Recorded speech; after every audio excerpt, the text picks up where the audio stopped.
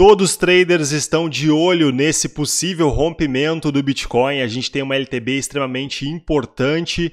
E por que, que eu acredito que a gente tem grandes chances de fazer uma armadilha nessa região dos 21 mil dólares? Então, Vamos dar uma olhada, não se esqueça de deixar aquele like para apoiar se você gosta aqui dos conteúdos do canal e está acompanhando há mais tempo. Se inscreva e também ative as notificações para você não perder nenhum vídeo e participe também do grupo Telegram. Links aqui abaixo na descrição, galera. Então vamos dar uma olhada aqui o que está acontecendo o que está em jogo para o Bitcoin. Então, pessoal, comentei para vocês no último vídeo que a gente tem que ficar de olho nessa região aqui dos 21 mil dólares, tá? Então, se a gente bater aqui nos 20 mil dólares, a gente vai estar tá potencialmente aqui rompendo essa LTB aqui de cima, né? Então, a região dos, do, dos 20 mil dólares aqui é uma região de Fibonacci extremamente importante aqui dessa última pernadinha de baixo que a gente fez. Então, região de retração aqui, a gente pode fazer esse pullback para o Bitcoin. Então, a gente iria bater na região de 618. Então, a gente já testou a região de 50% de retração Fibonacci, que está aqui na região dos 20 mil e 470 dólares aqui, que inclusive está confluente com as regiões do CPR mensal, tá, pessoal? Aqui, ó, exatamente nas linhas do pivô centrais do CPR mensal. É um indicador extremamente importante, que é uma resistência para o Bitcoin. Se vocês olharem o passado desse indicador aqui, tá? configure aí no, no, no TradeView de vocês. É um, um, indicador gratuito aqui, ó, pessoal. Vou abrir rapidamente aqui. É o CPR by QGS aqui, ó. Bota os pivôs mensais aqui, ó. Só isso aqui que tem que ativar tá? Daí configura aqui essas, essas, essas, essas aqui são as mesmas configurações, tá? De cores, enfim. Tá? E visibilidade eu deixo para todos os períodos aqui, não importa. Tá? Então aqui a gente tem essa região de resistência extremamente importante, tá? E depois o R1 aqui, ó, tá aqui na região dos 22 mil dólares, tá? Se você quiser saber mais sobre esse indicador aqui, tem Aí uh, você pode procurar no Google, explica como funcionam os pivôs, os pivôs, os pivôs aqui do, do, do, mensal, que eu acredito que é são regiões extremamente importantes. Aí vários traders aqui, a maioria dos traders profissionais usam esse indicador com certeza, tá? Então, a gente está numa região aqui interessante. E essa região de 68 aqui, a gente pode sim, pessoal, ter essa possível armadilha aqui, ó, do, 6, do 68, o Bitcoin bater nos 21 mil dólares, fazer esse, esse falso rompimento e fazer um fundo aqui mais baixo, tá? Esse é o cenário que eu estou aqui considerando nesse momento, tá? A falta uma semana para a gente ter a divulgação do CPI, a gente pode ter aqui ainda certo uma certa armadilha para o Bitcoin fazer esse rompimento talvez né, mais adiante, tá, pessoal? Tá todo mundo aqui já é, né, de olho nisso aqui, a gente pode ter armadilha para o Bitcoin. E como eu conheço Bitcoin, esse aqui é bem possível de acontecer, tá, pessoal? Obviamente não é não é uh, não existe certeza em trading, tá? Eu tô falando para você sobre probabilidade. Para mim, eu acredito que essa probabilidade de fazer essa armadilha é bastante grande. Aqui eu vou mostrar para vocês por quê, usando aqui os pools de liquidação, tanto da BitMEX quanto da Binance, tá? Então, galera, antes de a gente entrar nesse assunto aqui, quer dizer, vamos entrar direto nesse assunto. Depois eu vou olhar aqui o índice dólar também comentar para vocês sobre a SP500, tá? Então, pessoal, a gente deu essa subida aqui para o Bitcoin com o sentimento ele uh, ajudando a gente aqui, tá? Então a gente pode ver aqui, ó, puxando os 15 minutos, a gente viu esse rompimento com o long short ratio aqui caindo, o open interest subindo. Só que o open interest subiu muito, né, galera? Eu comentei para vocês no último vídeo sobre isso. A gente teve uma forte subida do open interest. Isso aqui é uma coisa que me deixa extremamente preocupado, tá? Eu já vi, já vi isso aqui diversas vezes, pessoal. Olha lá o open interest quando sobe muito forte, a gente tem porrada para os dois lados, então a gente pode sim ver o Bitcoin subindo e descendo com tudo aqui. Então esse é um cenário que eu estou realmente considerando, tá? Então, a gente teve aqui o sentimento melhorando, mas com o Open Interest aqui extremamente elevado ainda, tá? Então a gente pode ter essa armadilha acontecendo aqui é, pro Bitcoin, tá? É que o meu celular começa a falar sozinho aqui, do nada, né? Escuta a minha voz. Então, galera, voltando aqui, vamos puxar aqui os indicadores da, do High Block para mostrar para vocês aqui sobre isso, né? Uh, e eu já estou aqui agora no, no, shortzinho pequeno nessas regiões que o Bitcoin subiu ali no CPR mensal. Vou mostrar para vocês daqui a pouquinho. Tá? Então fica até o final aqui do vídeo. Então aqui, galera, vamos puxar aqui primeiro os, os pools de liquidação da BitMEX aqui. Vou puxar, vou botar os labels aqui do é, os últimos valores. Então a gente pode ver aqui, ó, o Bitcoin forma aqui pools acima aqui na BitMEX, ele vai rompendo aqui, buscando esses, essas liquidações da BitMEX. Temos aqui até a região dos 21 mil dólares aqui, que são pools aqui que são é, razoavelmente frescos aqui, tá, galera? Obviamente a gente tem também liquidez aqui até essa região dos 23, tá? Mas aqui já fica muito afastado, tá bom? Então para mim se Bitcoin começar subir acima dos região dos 21.800 aqui, a coisa já fica perigo perigosa na minha opinião, eu vou estar estopando esses shorts aí, tá bom? Então, até a região aqui dos 21.200, eu sempre dou, eu boto, vou botando shorts aqui acima, né? Quanto mais o preço vai subindo, mais eu vou shortando. É, então tem short até posicionado até a região dos 21.200 dólares, tá, galera? Não só por isso aqui, não só por esse indicador aqui, vou mostrar também na Binance.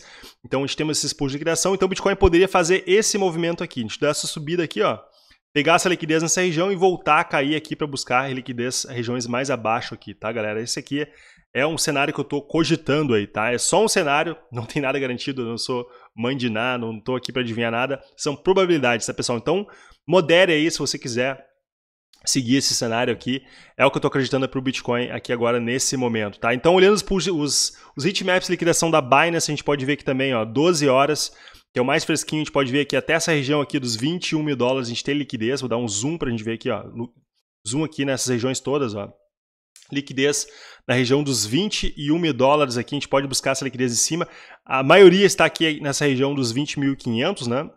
E depois, galera, a gente está formando mais liquidez abaixo do que acima, tá? Isso aqui olhando 12 horas, vamos dar um, voltar aqui no, no, no gráfico para abrir, deixar maior, Ó, a gente pode ver que está formando mais liquidez abaixo, até a região dos 16 mil dólares aqui, do que liquidez acima, tá? Então, temos sim formando liquidez acima, obviamente, né? o mercado funciona para os dois lados, mas para mim me, parece aqui que o mais forte é até a região dos 21 mil e depois a gente tem aqui abaixo, tá? Se a gente puxar sete dias aqui também na Binance, o loopback, a gente pode ver deixa bem claro para a gente aqui que essa região dos 21 mil dólares até a região dos 20 mil, 21.200 a gente tem bastante liquidez formando. Depois abaixo aqui até a zona aí ó, dos 16 mil dólares aqui, é até a região dos 15.400 que eu comentei inclusive para vocês no último vídeo, tá galera? Então o Bitcoin pode fazer esse movimento aqui ainda mais com o Pinterest desse jeito. É, Bitcoin pode dar essa armadilha, eu já vi várias vezes acontecendo esse rompimento falso, ele vai lá, pega a liquidez acima, inclusive vários traders aqui, se vocês olharem aí, tá? É, a maioria das pessoas fazem o seguinte, ó, nesse rompimento, o cara vê rompendo aqui, ó, já começa a botar a posição de long, né? Começa, começa a entrar em long, é assim que o cara fica preso na, na operação, tá? Então tome cuidado aí para não ser não acabar dando liquidez nessa região aqui, pessoal. Acho que muita gente vai acabar, pode acabar dando liquidez para o Bitcoin nessa região, ficar preso aí e acabar sendo estopado mais lá embaixo, tá? Então tome bastante cuidado. Eu acho que a gente não tem ainda um motivo, uh, um motivo, uh, assim, digamos, a gente não tem nenhuma divulgação importante para a gente fazer esse rompimento aqui, que acredito que é uma LTB é extremamente importante. Então, se tiver esse rompimento, acredito que nesse momento a gente pode ter essa armadilha. Se esse rompimento vier depois da divulgação do CPI, essas coisas melhorarem os indicadores aí, que até esse momento até a fala do Powell não foi muito boa, né? Quem acompanha, quem está acompanhando aí. É, daí sim a gente pode, no caso, considerar, tá, galera? Mas com o Pinterest do jeito que tá, eu acho que tá complicado. Vamos puxar aqui também os pools de liquidação aqui de um mês também aqui, galera. Só para mostrar para vocês aqui, olha só. Região dos 21 mil dólares, bastante liquidez formando, e até depois, até a região dos 15.500 aqui, a gente tem mais liquidez, região dos 17.400. Obviamente isso aqui são heatmaps de liquidação é, de um mês, tá? Não quer dizer que essas, essas ordens ainda estão abertas aí, mas dá, um, dá uma, um raio-x do mercado aí pra gente, pra gente poder entender onde está a liquidez do Bitcoin, tá? E para mim, esse cenário aqui tá para mim me parecendo mais provável, tá, galera? Aqui nessa região dos 23, a gente pode dar um zoom aqui também, dar uma olhada, ó. A gente tem liquidez é, sim aí nessa, nessa, nessa região aqui, tá? Mas, contudo, aí a gente pode ver que Uh, não tem aqui tanto quanto na região dos 21 mil dólares, tá? Então, para mim, estou considerando mais esse cenário aqui agora. Então, nesse momento aqui, galera, aqui olhando a PrimeSBT, já estou em alguns shortzinhos aqui do, do Bitcoin, tá? E estou buscando abrir mais operações aí à medida que o preço vai subindo aqui, tá bom? Então, basicamente, essa aqui é a minha estratégia no curto prazo. Não se esqueça também, se você quiser uh, ter, uh, operar aqui na Prime SBT, vou deixar o link aqui abaixo na descrição e comentário fixado para você abrir essa conta na Prime SBT. É, leva um segundo para abrir a conta aqui, tá, pessoal? Não precisa enviar documentação nem nada. Você já faz o depósito, já ganha seu bônus aqui de 7% de depósito, até 7 mil dólares. Qualquer dificuldade, entre em contato comigo, eu vou ter o prazer de ajudar você aqui, tá? A Prime SBT está apoiando o meu canal, é uma corretora que é muito bacana, os caras são fera mesmo e gostam dos meus conteúdos aqui e, e agradeço muito eles por estar me apoiando aqui nesse projeto. Então, pessoal, basicamente do Bitcoin que eu tenho para vocês aí é isso, tá? Uh, vamos puxar aqui também uh, a SP500 comentários sobre o DXY também rapidamente. Uh, a SP500, galera, a gente teve uma rejeição aqui, ó. Se a gente olhar essa, tem uma LTBzinha aqui, ó, essa, essa região, vou dar um, vamos aumentar um pouquinho mais.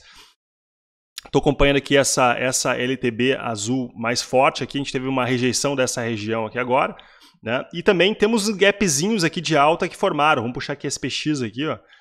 Os, gap, os gapzinhos de alta para fechar aqui, galera, ó. Então, uh, se tivesse rompimento no Bitcoin, para mim é oportunidade grande de entrar no short, que isso aqui, a SP500 tá seguindo, uh, o Bitcoin está seguindo muito a SP500, tá? Então, com esse gap aqui aberto, ó, vou deixar até mostrar para vocês esse gap aqui aberto, é a SP500 gosta de fechar esses gapzinhos. Então, para mim, ela pode voltar a subir, mas para mim, eu estou considerando esse, esse, fechamento do gap aqui uh, nesse momento. Depois que a gente fechar esse gap assim, eh, fechando esse gap aqui, eu posso até avaliar de fechar esses shorts aí, dependendo como vai estar o mercado, mas eu estou interessado em manter esses shorts até o Bitcoin voltar a testar a região ali dos, dos, da região dos 19 mil dólares, 18.800 mais ou menos, que é onde a gente começa a ter bastante liquidez aí, é, lá dos, da galera que está fazendo long, né, pessoal?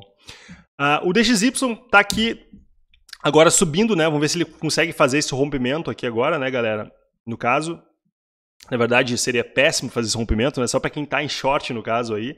É, lembrando, galera, que para mim, nesse momento aí que está em short, para mim é, é bom o Bitcoin cair, tá? Que eu vou estar tá comprando no spot, eu estou acumulando, é, fazendo compras spot do Bitcoin, tá? Usando essas, esses ganhos que eu estou tendo no contratos, nos contratos futuros aí, no do PERP futuros, né?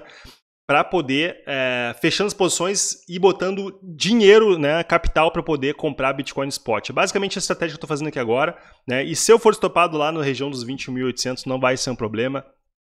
É, tá dentro do meu gerenciamento aqui de risco. Beleza, galera? Então, no mais, é isso que eu queria falar para vocês aqui no vídeo de hoje. Espero que você tenha gostado do vídeo. Se você gostou, deixa aquele like, se inscreve no canal, ativa as notificações. Vou deixar um tutorial como você operar aqui, então, na PrimesBT e também na Bybit. São corretoras excelentes para você operar aí futuros. Quem tem experiência e ambas com bônus aí, muito bom. Qualquer dificuldade, pode entrar em contato comigo pelo Telegram que eu estou ajudando todo mundo. Um abraço, então, galera. Até amanhã.